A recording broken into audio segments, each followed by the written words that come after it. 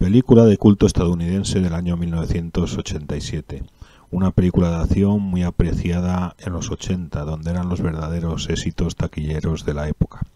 En ella un grupo de los mercenarios más duros intentarán sobrevivir a la caza de un alienígena tecnológicamente mucho más avanzado, que caza los especímenes humanos más rudos como nosotros no hace tanto cazábamos en la sabana africana, animales exóticos, aunque este cazador alienígena se sobreentiende que aprecia más a las presas que los humanos, pues no busca extinguirlos por vender sus pieles o exponer sus cráneos como decoración de chimeneas de cabañas alienígenas.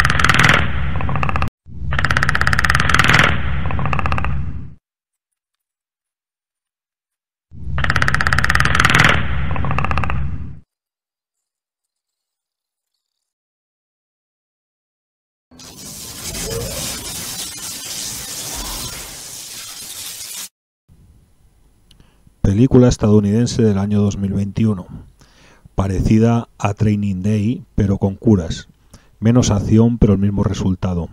Nada es lo que parece, el curtido y duro exorcista que hace de maestro al final sale rana, y el noble aprendiz vence a su maestro. Sus efectos para dar sustos son los ya tradicionales en estas películas. Niña o niño andando por las paredes como si fuera un gecko, arrastrones de curas tirados por cables de acero invisibles y otros fenómenos telequinéticos para atravesar las manos de los psicólogos como para darle un zasca en toda la boca a los más escépticos. Aunque esta crítica te desaliente a verla, debemos decirte que es entretenida y merece la pena para pasar un rato, si no tienes nada mejor que hacer. Por último, nos despedimos con su sinosis que dice así. Un inexperto sacerdote se une a un reconocido exorcista mientras exploran el infierno que existe en la tierra. En este tiempo de dicotomía entre el bien y el mal, ambos deben, deben de tener la posesión demoníaca de un chico, pero la oscuridad acecha donde menos se lo esperan.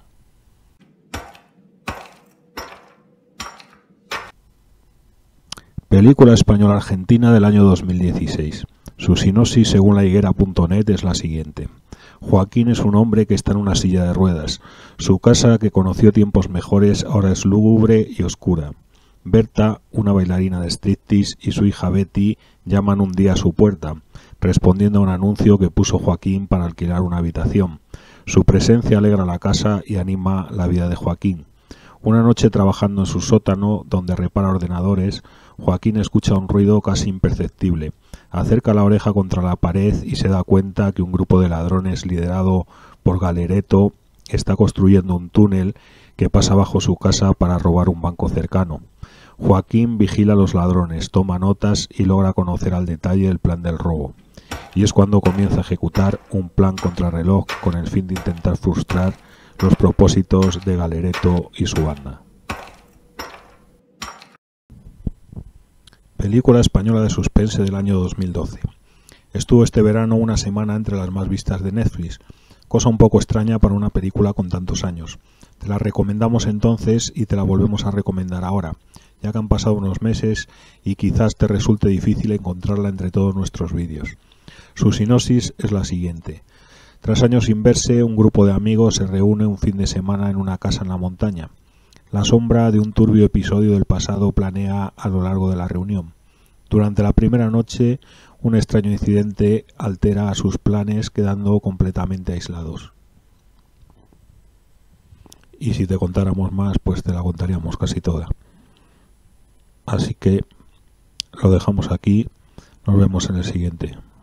el profeta. El profeta por la cosa de las manos. Lo encontramos diciendo tonterías. Pues habrá que bajar al pueblo a buscar ayuda. ¡No, no entres en el agua! ¡Eva, no! Él dijo, los animales, las casas vacías, los coches abandonados, todo.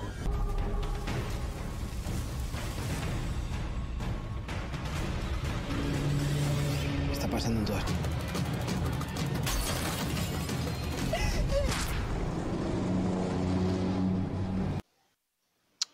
Un tal Lázaro Vélez se incorporó en su tumba, se despojó lentamente de su sudario, abandonó el camposanto y empezó a caminar en dirección a su casa.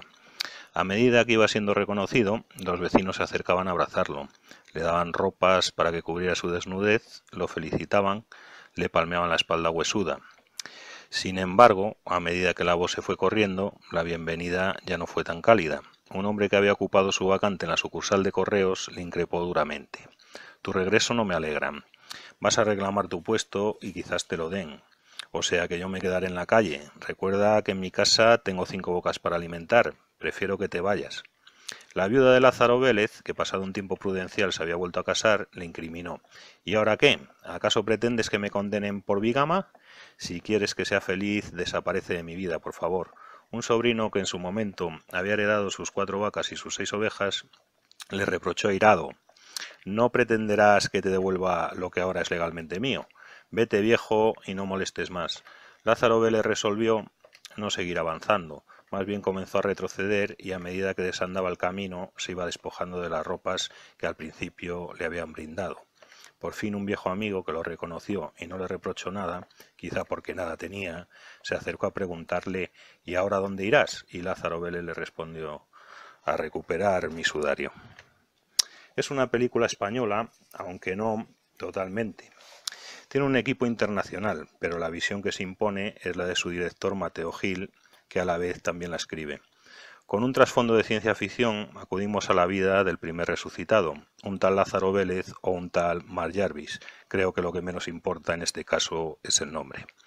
Comienza con su nacimiento crudamente retratado, con mucha sangre y hasta un cordón umbilical cortado con tijeras en directo, el mismo cordón que apretaba su cuello antes de ver la luz, y donde notamos su desencanto por el mero hecho de existir idea que se repetirá durante la película varias veces como un bucle y que determinará su final.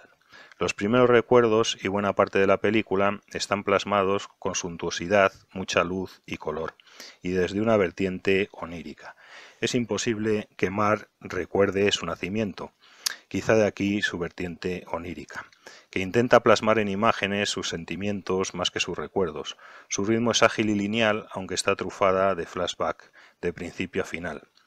La dividen en cinco pequeños capítulos donde el punto de conexión es un sentimiento o un hecho. El primero es el proyecto Lázaro, donde se nos hace un pupurri de fragmentos de recuerdos y cómo con muchos artificios se consigue dar vida a lo que ha dejado de existir. Su segunda vida está retratada como un nuevo nacimiento, y toda la sangre y pesar se sustituye por simpáticos doctores con bata y ascéticos espacios iluminados, sonrisas como cuando un niño conoce por primera vez a sus padres y parientes, y se nota en el aire un rumor a bautizo. Es la parte en que vemos la ascética ciencia y su desconexión por todo lo opuesto de artificial en el envase del alma, que se convierte en conciencia y mucho menos humano. También acudimos a la primera puesta en escena del aparato inventado que recupera y graba los recuerdos, para mirarlos una y otra vez, una vez perdidos, y entonces empieza la incompresión de conexión de algo que ya no es nuestro, está solo grabado y cualquiera puede acceder a ello, igual que nosotros, por lo que se pierde toda perspectiva de ser único y de libertad, ya que la debilidad, más que del recién nacido, del nonato, nos acecha, y esta resurrección está supeditada a un gran cordón umbilical, del que nunca podremos deshacernos si queremos seguir vivos. Es una película claramente centrada en un personaje principal, pero antes de seguir con el claro secundario, hablaremos un poco de los segundos secundarios, que serían por un lado la doctora que está a su cargo, que hará de madre, cuidadora y amante ocasional, y la que tendrá el papel de conexión emocional en un mundo aséptico falto quizá de alma. Luego el doctor principal del proyecto, endiosado y que todo ha perdido por su obra, incluso su, su, humanidad, y cómo no consigue nada más que dar la chispa a sus resucitados, pero no la voluntad de seguir con vida. Estamos en la tercera parte o tercer capítulo que se titula Los amantes a destiempo, que probablemente quizás fuera distinta en su planteamiento inicial y querría quizá buscar el hacer coincidir con los destiempos por diferentes muertes y diferentes espacios temporales de vida, pero que luego nos descubre que esta gran historia de amor que nos cuenta siempre ha sido a destiempo. Desde que ella le regalara la primera margarita, y solo se interesaban los amantes en un tiempo, que nunca era querido por el otro. Así se cansaban siempre de esperar el uno por el otro, y solo había un enamorado cada vez y un apático. Y estaban cada uno por su lado enamorados del amor mismo más que entre ellos. Buena parte de la película hace hincapié en esta historia de amor de desencuentros y otra en la niña de Mark, solo bañándose en la playa o mirando simplemente al cielo entre los brazos de su madre. Por fin acudimos al final de todo y conocemos la verdad última de Mark, y vemos que la frase del doctor y quizás de la película que dice que dejó una mujer notable por un sueño insuficiente no es cierta, pues Mark, a la vez que plantea su muerte, para tener más oportunidades de seguir en el futuro con vida, renuncia a la vez a un posible año de su vida de felicidad, quizá el más importante de ella, según se plantea con una mujer que quiere, enamorada de él a su vez, donde se rompería la cadena de los amantes a destiempo. Él opta por la no existencia. Lo determinante en un principio es anteponer el miedo a no pasar los últimos años esperando a la muerte como su padre, a su amor a tiempo y en el final de la película y en su primer suicidio vencer al miedo por la no existencia. Pero el final queda abierto con unas últimas imágenes que al ponerle voz al nacimiento sugieren que quizás sea un segundo resucitamiento. Bien puede ser con estas premisas un segundo resucitamiento, con lo que perdería el personaje principal probablemente de una vez y para siempre también su decisión a la no existencia tiene esta película estas cosas y muchas más que aquí no te comentaremos, porque parte de su disfrute nos parece que será el verla y sobre todo el interpretarla a gusto, ya que no está para nada cerrada.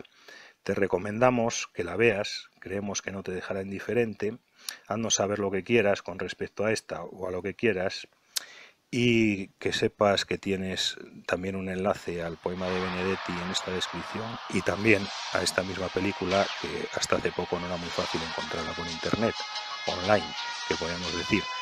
Y además de esto, pues recibe como despedida un saludo.